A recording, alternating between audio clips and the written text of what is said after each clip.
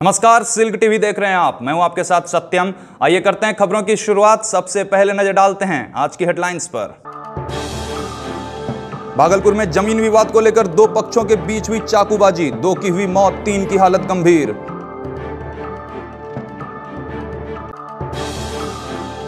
DM Pranab Kumar ने ज़िले में चलाई जा रही विकास योजनाओं की की समीक्षा। कार्य की धीमी गति पर जताई नाराज़गी।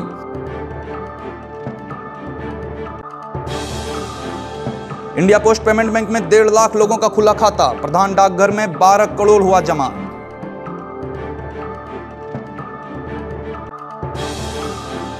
स्मार्ट सिटी के तहत चल रहे विकास कार्यों का विधायक ने किया निरीक्षण। कहा, सरकारी फंड का हो रहा है बंदर बांट।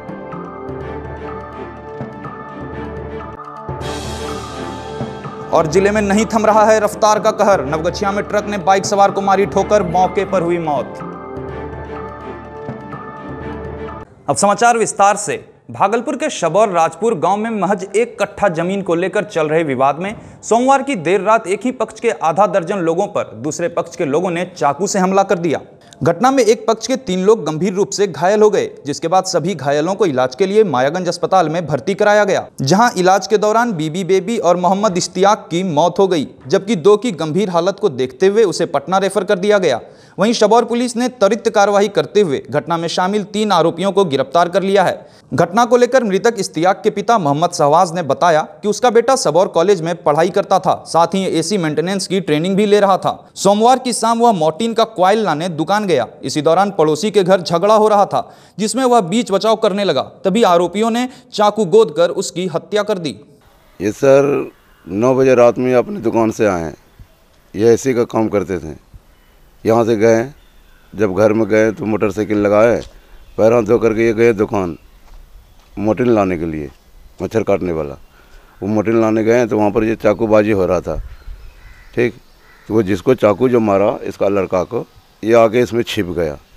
इसमें छिप गया आकर के तो उसने चाकू वाले ने क्या किया? इसको भी चाकू मार दिया। हमारी बीवी रोटी पका रही थी। उसका बीवी, शमशाद की बीवी आई और बेटी आई। दोनों ने रोटी पका रही थी, दोनों ने आके झटकी लगा के मारना पीटना शुरू कर दिया। मारने पीटने के बाद उसका पति लड़की का भाई आया। वो छुरी मार के निकल के बाहर हो गया।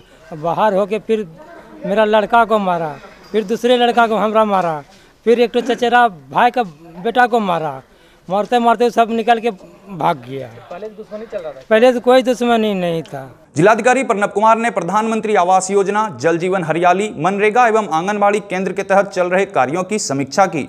डीएम ने अधिकारियों से तमाम योजनाओं की प्रगति रिपोर्ट जानी और कार्यों की धीमी गति पर नाराज़गी ज़ाहिर की। समीक्षा बैठक में पेन, पोखर, तालाब, चेक डैम योजनाओं को गुणवत्तापूर्ण ढंग से पूरा कराने का निर्देश दिया गया। वृक्षारोपण योजनाओं के लिए विभाग द्वारा लगाए जाने वाले वृक्षों की उपलब्धता सुनिश्चित करने एवं मनरेगा योजनाओं में अधिक से अधिक मजदूरों को काम देने का डीएम ने निर्देश दिया। डीएम ने सभी प्रवासी मजदूरों को जॉब कार्ड उपलब्ध कराने के साथ आंगनबाड़ी केंद्रों के निर्माण में लापरवाही बरतने पर तेरह कार्यक्रम पदाधिकारियों का मानदेय स्थगित करने का निर्देश दिया है। डीएम ने कहा कि काम नहीं करने वालों का मानदेय काटा जाएगा और सुधार नहीं होने पर बर्खास्त भी किया जाएगा। सत्रह लाख पचासी हज़ार मानव सृजन का लक्ष्य ज़िले में रखा गया है, जिसमें से छह लाख बिरानवे हज़ार मानव सृजन हो चुका है। जल जीवन हरियाली योजना में सभी कार्यक्रम पदाधिकारी को 15 जून तक पौधारोपण के लिए गड्ढा तैयार करने का निर्देश दिया गया। इसके अलावा जीविका को मास्क उपलब्ध कराने, सभी परिवार को मास्क एवं साबुन उपलब्ध कराने का निर्देश डीएम ने दिया। DDC Sunil Kumar, DRDA director Pramod Kumar Pandey को डीएम प्रणब कुमार ने वन विभाग एवं अन्य विभागों के अधिकारियों के साथ बैठक कर योजनाओं का क्रियान्वयन करवाने का निर्देश दिया। इंडिया पोस्ट पेमेंट बैंक की सेवा देश भर में शुरू हो चुकी है। आईपीपीबी अपने ग्राहकों को घर बैठे कई तरह की सेवाएँ दे रहा है। वहीं लॉकडाउन में एक तरफ़ जहाँ चारों तरफ़ मंदी छाई है और देश की अर्थव्यवस्था चरमरा गई है तो दूसरी तरफ़ अब डाक विभाग लोगों का खाता खोलकर करोड़ों रुपए का लेन देन कर रहा है। भागलपुर की बात करें तो यहाँ के प्रधान डाकघर में लॉकडाउन की अवधि में अठहत्तर हज़ार खाता खोला गया। वहीं प्रधान डाकघर के पोस्टमास्टर सुनील कुमार सुमन ने बताया कि डाक विभाग के प्रति अब लोगों में काफ़ी विश्वास बन गया है, जिसके परिणाम स्वरूप 31 मई तक डेढ़ लाख लोगों ने आईपीपीबी में अपना अकाउंट खुलवाया है।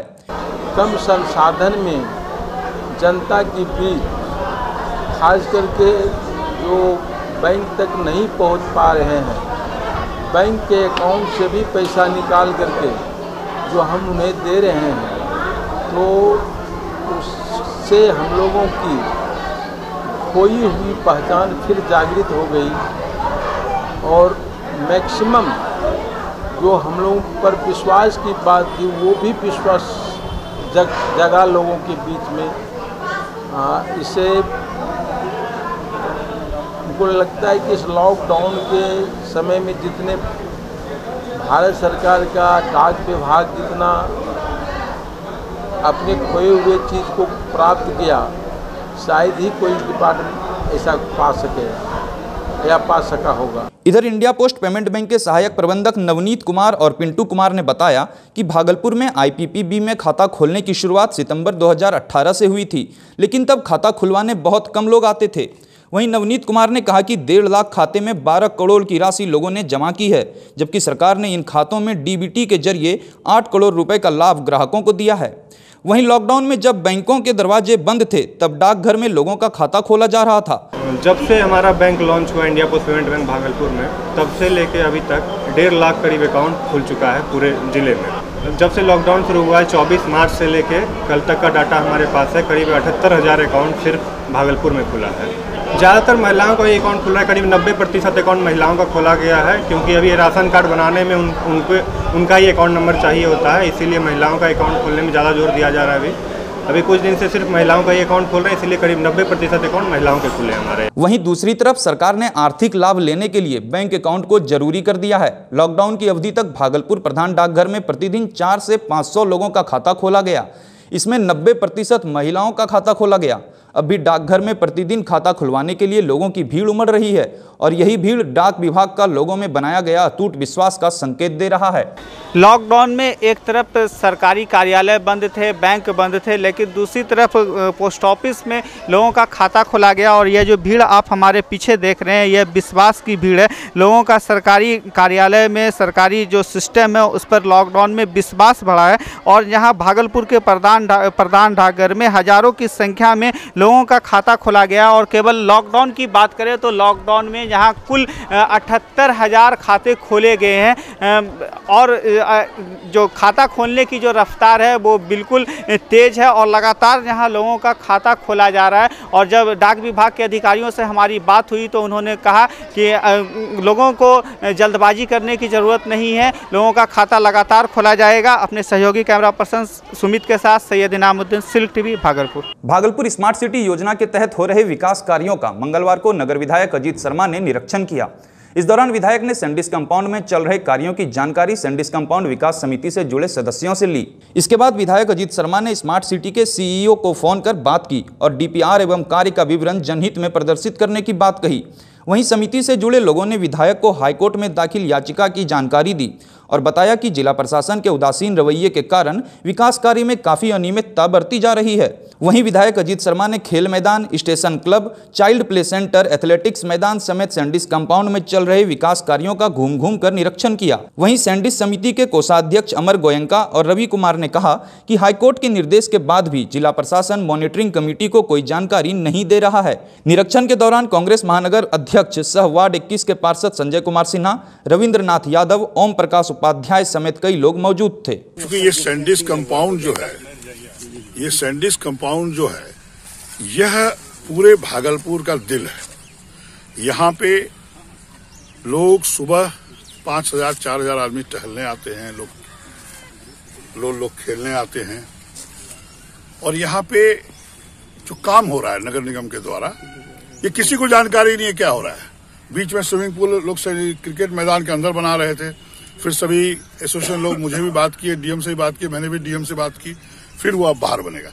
एक प्लानिंग जो होना चाहिए सर्विस कंपाउंड में, क्या होना चाहिए, समिति से बात कर, जो समिति इसको देख रही है आज विगत पचास वर्षों से तो उससे बात करके होना चाहिए, लेकिन जैसा अभी ये लोग बता रहे हैं कि कोई बात नहीं हुई है तो मैंने अभी सीओ से बात की है, जो इसको देख रेख कर रहे हैं। मैं ये पहले तो ये देखूँ, डीपीआर क्या सेंक्शन है, क्या आप करना चाहते हैं, कभी कुछ होता है कि यहाँ पे वॉलीबॉल इधर बना दो, कभी उधर बना दो। एक प्लानिंग लगता है कि नहीं है। ये लोग आए हैं पोस्टिंग हुई है, नौकरी करने आते हैं और जानते हैं कि दो तीन साल में चला जाना है। लेकिन यह जो सेंडिस कंपाउंड है, उनको पता नहीं, ये भागलपुर जिला के जनता का दिल है। सर, इसका कोई प्लानिंग नहीं है। हम लोग समिति के लोग आज बरसों से इसमें लगे हुए हैं और इस मैदान में जो हज़ारों दुकानें बन रही थी, उस अतिक्रमण को हटाने में हम लोग हाईकोर्ट में रीट फ़ाइल करके जनहित याचिका में हम लोगों ने इस पर से जो है दुकानें बनने से रोका है और उसके बाद इसमें लगी प्रशासन की रोक को जो है, वो अभी जब स्मार्ट सिटी घोषित हुई तो प्रशासन को आवश्यकता हुई हमारी, क्योंकि ये लोग मॉडिफिकेशन उस ऑर्डर को मॉडिफाइड करने के लिए हाईकोर्ट में गए थे। हाईकोर्ट ने कहा कि नहीं, इसमें जब तक पिटिशनर नहीं आएँगे, हम इसको नहीं सुनेंगे। मेरी समिति लगातार इस प्रयास में लगी रहती है कि सैंडिस का डेवलपमेंट कैसे हो। और हमारी समिति आज से नहीं, बहुत दिनों से लगी हुई है। हाई कोर्ट का आदेश का हम लोग पालन कर रहे हैं और उसके बाद यहाँ के प्रशासन भी इस पर काम कर रहे हैं। लेकिन अभी हमने स्मार्ट सिटी के सीईओ से मिलने का कोशिश किया और एक बार मिला भी उनसे जाकर के। लेकिन उन्होंने कभी नहीं बताया कि डीपीआर क्या है, यहाँ कैसे काम हो रहा है, क्या हो रहा है। नवगछिया एन एच पर मंगलवार की सुबह तेज रफ्तार और नियंत्रित ट्रक ने बाइक को टक्कर मार दिया। घटना में बाइक पर सवार व्यक्ति की मौके पर ही मौत हो गई। मृतक की पहचान परबत्ता थाना क्षेत्र के राघोपुर निवासी पंचलाल साहनी के रूप में हुई है। घटना को लेकर बताया जा रहा है कि मृतक पंचलाल साहनी मछली का चारा लाने, मोटरसाइकिल से कटिहार जा रहा था। इसी दौरान ट्रक बोलेरो को ओवरटेक कर रहा था, तभी सामने बाइक आ गई और ट्रक ने टक्कर मार दिया। वहीं हादसे के बाद घटनास्थल पर लोगों की भीड़ उमड़ पड़ी। वहीं घटना की सूचना मिलते ही नवगछिया पुलिस मौके पर पहुँची और शव को कब्जे में लेकर पोस्टमार्टम के लिए अनुमंडल अस्पताल भेज दिया। भागलपुर मायागंज अस्पताल को कोरोना विशेष अस्पताल का दर्जा दिए जाने के बाद से अब तक जेएलएनएमसीएच में 200 से अधिक कोरोना संक्रमितों को भर्ती कराया जा चुका है, जिसमें भागलपुर के साथ बांका के भी कोरोना संक्रमित मरीज़ शामिल हैं। भागलपुर में अब तक एक सौ निन्यानवे कोरोना संक्रमित मरीजों की पुष्टि हो चुकी है, जिसमें से करीब साठ मरीज़ स्वस्थ होकर घर जा चुके हैं। मंगलवार को स्वास्थ्य विभाग के पहले कोरोना अपडेट में भागलपुर के सात मरीज़ समेत 104 कोरोना पॉजिटिव मरीज़ की पुष्टि हुई। इसके साथ ही बिहार में कोरोना पॉजिटिव मरीज़ की संख्या 4000 के आंकड़े को पार कर गई। हालाँकि बिहार में कोरोना संक्रमित हुए 1700 से अधिक मरीज़ स्वस्थ हो चुके हैं, जबकि तेईस मरीजों की मौत हो चुकी है। वहीं देश में कोरोना संक्रमितों का आंकड़ा दो लाख के करीब पहुँच गया है। भारत में अंठानवे हज़ार कोरोना पॉजिटिव के एक्टिव केस हैं, एवं करीब छियानवे हज़ार मरीज़ स्वस्थ होकर घर जा चुके हैं, जबकि छप्पन सौ से अधिक कोरोना संक्रमित मरीज़ की मौत हो चुकी है। भागलपुर मायागंज अस्पताल के कोविड 19 नोडल पदाधिकारी डॉक्टर हिमशंकर शर्मा ने कहा कि मायागंज आइसोलेशन वार्ड में 90 से अधिक मरीज़ अभी भर्ती हैं, जबकि टीटीसी कोविड सेंटर में 26 कोरोना पॉजिटिव मरीजों को भर्ती कराया गया है। वक्त हो चला है छोटे से ब्रेक का, मिलते हैं ब्रेक के बाद।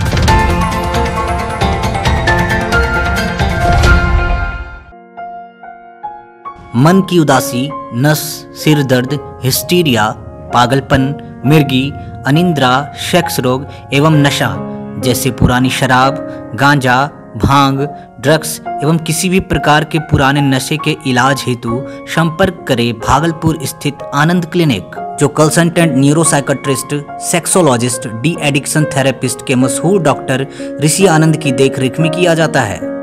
अत्याधुनिक सुविधाओं से लैस इस अस्पताल में ईईजी, ईसीटी एवं एमबीटी के साथ साथ मरीजों के भर्ती हेतु 24 घंटे एसी, नॉन एसी, जनरल एवं स्पेशल वार्ड की सुविधाएँ उपलब्ध है। आनंद क्लिनिक लाजपत पार्क घंटा घर के उत्तर मोक्षदा स्कूल के समीप Mashak Chak Bhagalpur Bihar. Lifeline CT scan and digital x ray doctor Shashikar MD radio diagnosis द्वारा संचालित lifeline CT scan and digital x ray में अत्याधुनिक तकनीक से सभी प्रकार के रेडियो डायग्नोसिस की सुविधा पिछले आठ साल से उपलब्ध है। भागलपुर का पहला digital 1.5 tesla whole body MRI scan multi slice whole body CT scan अत्याधुनिक अल्ट्रासाउंड मशीन से 2D, 3D, 4D colour Doppler ultrasound guided पानी निकालना अथवा प्रेगनेंसी का लेवल वन या लेवल टू की जाँच की सुविधा। डिजिटल एक्सरे से सामान्य एक्सरे के साथ साथ आईवीपी, आरजीयू, एचएसजी की जाँच। डिजिटल डेंटल एक्सरे से पूरे जबड़े का ओपीजी अत्याधुनिक पैथोलॉजी की व्यवस्था खून पेशाब आदि जाँच के लिए बाहर जाने की ज़रूरत नहीं। हवादार प्रतीक्षालय एवं शुद्ध पेयजल की व्यवस्था। कोरोना संक्रमण के प्रति सचेत व सुरक्षित व्यवस्था। Lifeline CT scan and digital x ray का रिपोर्ट सभी बड़े अस्पतालों व डॉक्टरों द्वारा मान्य है। Lifeline CT scan and digital x ray क्या आपको कान, नाक या गले में कोई समस्या है? जैसे कान बहना, सुनने में परेशानी, कान में दर्द गले की खराश, गले में दर्द, थायराइड, नाक का मांस बढ़ना या एलर्जी इत्यादि है तो समस्या के निदान हेतु आपके शहर में विश्व स्तरीय अस्पताल एडवांस ईएनटी हॉस्पिटल, जिसमें अति आधुनिक उपकरणों द्वारा उपचार डॉक्टर एच आई फारूक की देखरेख में किया जाता है। डिजिटल एक्सरे एवं कंप्लीट ऑडियोलॉजिकल प्रोफ़ाइल की व्यवस्था साउंड प्रूफ परिवेश में बेरा ऑटो इकोस्टिक इमिशन टेम्पोनोमेट्री जाँच की जाती है। और हाँ एक दिन के बच्चे की भी सुनाई का आकलन किया जा सकता है। बिना तार वाली कान के अंदर लगने वाली सूक्ष्म देसी विदेशी सुनाई की मशीन भी उपलब्ध है। विदेशी मशीनों से सुसज्जित ऑपरेशन थिएटर तथा पेशेंट के रहने के लिए AC, non AC general ward उपलब्ध है। चंपा नाला पुल के निकट चंपा नगर भागलपुर।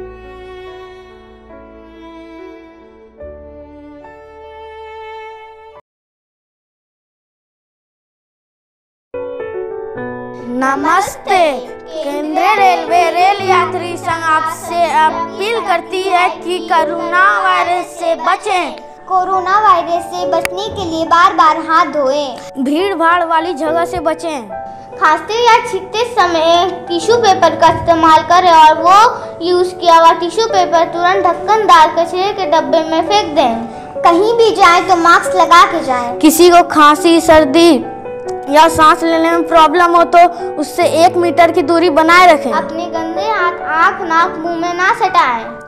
आपको ये छोटी छोटी सावधानी आपको बहुत काम आ सकती है।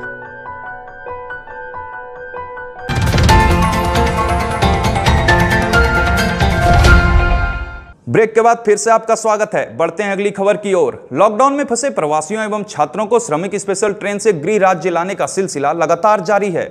इसी कड़ी में गोवा के मटगामा से प्रवासियों को लेकर श्रमिक स्पेशल ट्रेन मंगलवार को भागलपुर पहुँची। ट्रेन के भागलपुर जंक्शन पहुँचने के बाद कतारबद्ध तरीके से सभी प्रवासियों का थर्मल स्क्रीनिंग किया गया। इसके बाद अल्पाहार एवं पानी देने के बाद सभी प्रवासियों को सोशल डिस्टेंसिंग का पालन कराते हुए क्वारंटाइन सेंटर जाने के लिए बसों तक पहुँचाया गया। बता दें कि दूसरे राज्यों से आए प्रवासियों को 21 दिनों तक क्वारंटाइन सेंटर में रखा जा रहा है ताकि कोरोना वायरस का चैन तोड़ा जा सके। वैश्विक महामारी कोरोना वायरस से बचाव के लिए नगर निगम प्रशासन ने थर्मल स्क्रीनिंग की व्यवस्था की है। अब नगर निगम कार्यालय जाने वाले सभी कर्मियों के साथ आम लोगों की भी जाँच की जाएगी। मंगलवार को निगम की सुरक्षा में तैनात जवानों ने कई लोगों की जाँच कार्यालय में प्रवेश करने से पूर्व की। वहीं उपनगर आयुक्त सत्येंद्र प्रसाद वर्मा ने कहा कि निगम के द्वारा पाँच थर्मल मशीन खरीदा गया है, जो निगम के चार जोनल ऑफ़िस, सिकंदरपुर, ततारपुर, मानिक सरकार और नाथनगर में दिया जाएगा। नगर निगम के उपनगर आयुक्त ने कहा कि निगम के सभी कार्यालय में प्रवेश करने से पूर्व अधिकारी, कर्मी और आम लोगों की पहले थर्मल स्क्रीनिंग की जाएगी। इसके बाद तापमान सामान्य आने पर उन्हें प्रवेश करने दिया जाएगा। कार्यालय पहले पूर्व, अपने पूर्व रूप में लौट आया है। ऐसी परिस्थिति में जनजीवन सामान्य होता दिख रहा है। तो अब प्रिकॉशन का एक जो तरीका हो सकता है, उसमें हम लोगों ने थर्मल स्क्रीनिंग का ये जो है हम लोग इंफ्रारेड से हम लोग इसको उसके फीवर को माप करके पता लगा पाएँगे कि ये आदमी जो मेरे कार्यालय में आ रहा है, वास्तव में वह कोविड 19 के प्रकोप से कहीं ग्रसित तो नहीं है। तो ये यदि इसका फीवर ऊपर आता है तो हम लोग वहीं रोक देंगे चेक पॉइंट और उसको हम लोग क्वारंटाइन सेंटर या आइसोलेशन में भेजेंगे ताकि संक्रमण ना हो सके। बिहार में लगातार बढ़ रही आपराधिक घटनाओं को लेकर भाकपा की ओर से मंगलवार को राज्यव्यापी धरना कार्यक्रम का आयोजन किया गया। भागलपुर के भिकनपुर भाकपा कार्यालय में जिला सचिव सुधीर शर्मा के नेतृत्व में एक दिवसीय धरना दिया गया। इस दौरान सोशल डिस्टेंसिंग का पालन करते हुए भाकपा कार्यकर्ताओं ने राज्य सरकार को बढ़ती आपराधिक घटनाओं का जिम्मेदार बताया। सुधीर शर्मा ने कहा कि लॉकडाउन के दौरान राज्य में काफ़ी अपराध बढ़ा है। राजनीतिक संरक्षण के कारण अपराधियों का हौसला बढ़ता ही जा रहा है। दबंगों के द्वारा कमज़ोर, गरीब एवं दलितों को प्रताड़ित किया जाता है, जिसको रोकने में सरकार पूरी तरह से विफल साबित हुई है। इसके अलावा भाकपा कार्यकर्ताओं ने कहा कि सरकार अविलंब आपराधिक घटनाओं पर रोक लगाए और अपराध में शामिल दोषियों पर सख्त कार्रवाई करे। इस मौके पर मनोहर शर्मा, गोपाल राय मुस्ताक प्रमोद यादव समेत कई भाकपा कार्यकर्ता मौजूद थे। पूरे बिहार में भागलपुर जिला के विभिन्न अंचलों में बिहार में बढ़ते अपराध कर्म के खिलाफ आज धरना दिया जा रहा है। और इस बढ़ते अपराध कर्म में यह सामने आ रहा है कि सरकार के द्वारा संरक्षित, राजनीतिक संरक्षण प्राप्त लोग अपराध में शामिल हैं। दलितों, पिछड़ों और महिलाओं पर जुल्म किया जा रहा है। उस पर हत्या, अपहरण बलात्कार जैसी घटनाओं को अंजाम दिया जा रहा है। बिहार में शराबबंदी कानून लागू है। इसके बावजूद आए दिन शराब तस्करी से जुड़ा मामला सामने आता रहता है और लोग चोरी छुपे शराब की खरीद बिक्री कर अवैध कमाई करने में लगे हैं। लेकिन जब सरकार के कानून का सरकारी कर्मी ही धज्जी उड़ाने लगे तो आम लोगों से कानून का पालन कौन करवाएगा? ताज़ा मामला बांका के फुल्ली डुमर प्राथमिक स्वास्थ्य केंद्र से जुड़ा है। रविवार को पीएचसी के चिकित्सक डॉक्टर आलम एवं एंबुलेंस चालक सिफिन कुमार की शराब एवं नमकीन के साथ तस्वीर वायरल हुई, जिसमें सरकारी आदेशों का उल्लंघन किया जा रहा था। बताया जाता है कि अस्पताल में रोज़ाना कई कर्मी शराब पीकर ड्यूटी करते हैं, लेकिन अस्पताल में डॉक्टर एवं स्वास्थ्यकर्मी की शराब के साथ वायरल हुई तस्वीर सारी सच्चाई बयान कर रही है। मामले को लेकर चिकित्सा प्रभारी संजीव कुमार सिंह ने कहा कि मीडिया के माध्यम से अस्पताल में शराब पीने की जानकारी मिली है और यह शराबबंदी के खिलाफ है।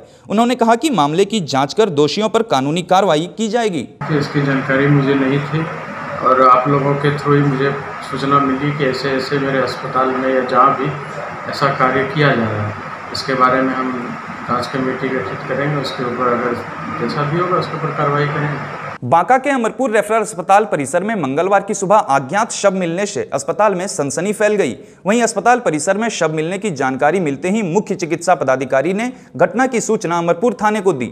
जिसके बाद मौके पर पहुँची अमरपुर पुलिस ने शव को कब्जे में लेकर पोस्टमार्टम के लिए भेज दिया। वहीं अस्पताल में कार्यरत गार्ड ने बताया कि पिछले 10 दिनों से मृतक व्यक्ति अस्पताल परिसर में ही रह रहा था। हालाँकि व्यक्ति की मौत कैसे हुई यह जाँच का विषय बना हुआ है। फ़िलहाल अस्पताल प्रबंधन पूरे मामले पर कुछ भी बोलने से बच रहा है। तिलका मांझी भागलपुर विश्वविद्यालय के शोध शाखा में कार्यरत प्रशाखा पदाधिकारी रवि भूषण प्रसाद के निधन पर मंगलवार को सिंडिकेट हॉल में शोक सभा का आयोजन किया गया। वहीं रवि भूषण प्रसाद के निधन पर प्रभारी कुलपति doctor Ajay Kumar Singh, registrar colonel Arun Kumar Singh, DSW doctor Ram Pravesh Singh, PRO doctor Deepak Kumar Dinkar समेत सभी पदाधिकारी और विश्वविद्यालय के कर्मियों ने गहरी शोक संवेदना प्रकट की। शोध शाखा के कर्मियों ने बताया कि प्रशाखा पदाधिकारी के पूर्व में हार्ट सर्जरी हुई थी और रविवार को तबियत बिगड़ने पर उन्हें निजी अस्पताल में भर्ती कराया गया था, जहाँ उन्होंने अंतिम सांस ली। और अंत में चलते चलते एक बार फिर से नज़र डालते हैं आज की हेडलाइंस पर। भागलपुर में ज़मीन विवाद को लेकर दो पक्षों के बीच हुई चाकूबाजी, दो की हुई मौत, तीन की हालत गंभीर।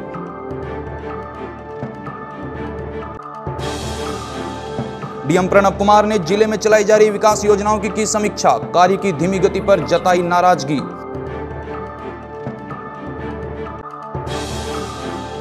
इंडिया पोस्ट पेमेंट बैंक में डेढ़ लाख लोगों का खुला खाता, प्रधान डाकघर में 12 करोड़ हुआ जमा।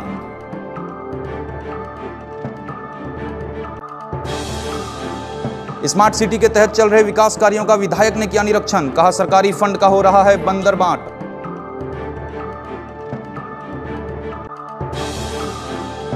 और ज़िले में नहीं थम रहा है रफ्तार का कहर। नवगछिया में ट्रक ने बाइक सवार को मारी ठोकर, मौके पर हुई मौत। फ़िलहाल इस बुलेटिन में इतना ही। नमस्कार।